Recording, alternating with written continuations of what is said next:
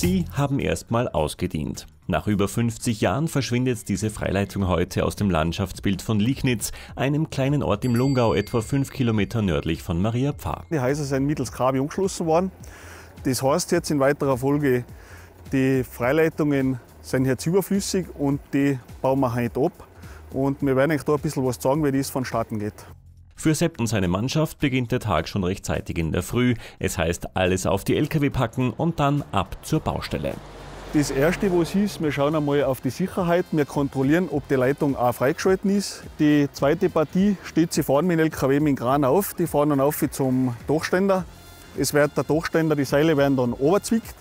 Der Dachständer wird abgeschnitten, die Anker vom Dachständer werden auch demontiert. Und dann können wir in weiterer Folge zu der Mastenführer gehen und die Masten dann abbauen. Und wenn die Arbeit erledigt ist, dann fahren wir wieder heim. In der Theorie klingt das recht einfach, in der Praxis stellen sich aber oft Probleme in den Weg. Nach nur rund 10 Minuten sind alle Kabel und auch der Hausdachständer entfernt. Rund 100 Meter weiter beginnt der zweite Trupp von Sepp bereits mit dem alten Strommasten, dem sogenannten A-Mast.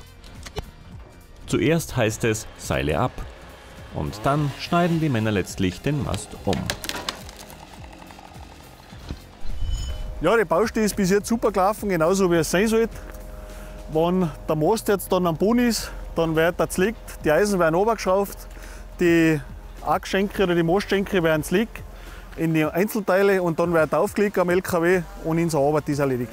Sepp ist sichtlich erleichtert. Heute hat alles gut funktioniert. Alles spitze, perfekt. Die Lkw bringen die Masten und alle Kleinteile dann nach St. Michael zur Lungau-Zentrale des Salzburg Netz GmbH. Dort warten sie dann auf ihre fachgerechte Entsorgung.